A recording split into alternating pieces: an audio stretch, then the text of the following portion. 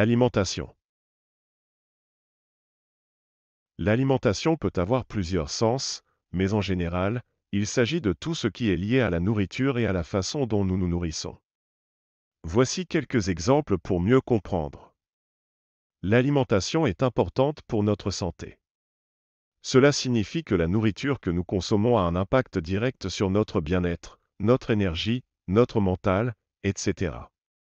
Par exemple, manger des légumes et des fruits tous les jours peut nous permettre d'avoir une meilleure santé globale.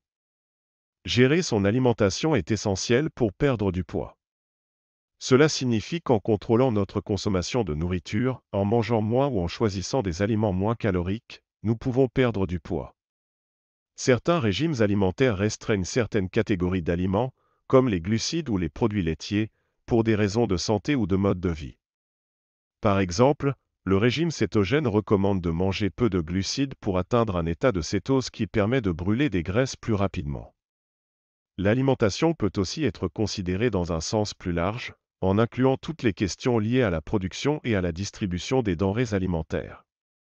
Par exemple, l'impact écologique de l'agriculture intensive est une question qui concerne notre alimentation.